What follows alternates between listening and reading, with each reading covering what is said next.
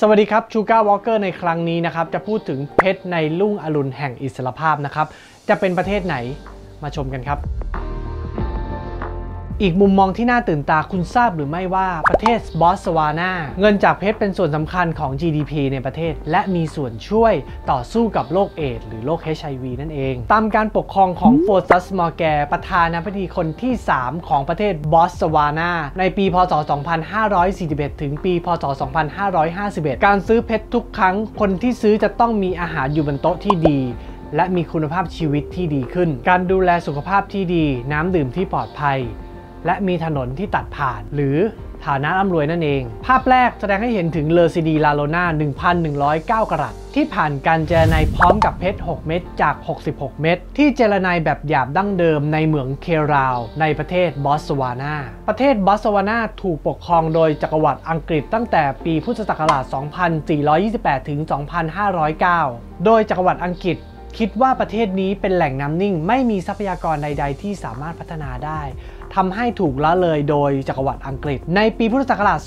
2509 ประเทศบอตสวานาเป็นหนึ่งในประเทศที่ยากจนที่สุดในโลก โดยมีรายได้ต่อหัวเพียง 80 เหรียญสหรัฐต่อปี การหาเงินจากเพชรได้เปลี่ยนไป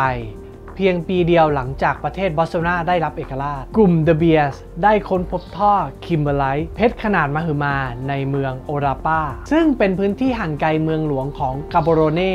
โดยประมาณ 250 ไมล์ ท่อคิมเบอร์ไลท์นี้เป็นท่อที่ผลิตเพชรที่ใหญ่เป็นอันดับ 2 ของโลก 4 ปีต่อมาเหมืองเพชรโอราปาได้ผลิตเพชร และกลายเป็นเหมืองเพชรที่ใหญ่ที่สุดในโลก ช่วงเวลาแห่งการค้นพบเหมืองนี้ทำให้ชาวบอตสวานา มีความเป็นอยู่ที่ดีขึ้น ภาพที่ 2 แสดงถึง The Graff Lesedi La Rona มีน้ำหนัก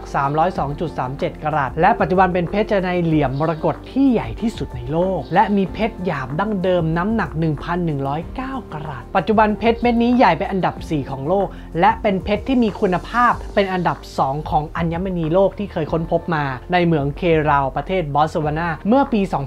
2558 ขอบคุณสำหรับเครดิตข้อมูลจากสถาบัน GIA เป็นยังไงบ้างครับสำหรับข้อมูลดีๆในครั้งนี้ อย่าลืมฝากกดไลค์ กดแชร์ กด subscribe กดให้หมดเลยนะครับสำหรับ Sugar Walker ในครั้งนี้ แล้วพบกันใหม่ในตอนต่อไปครับ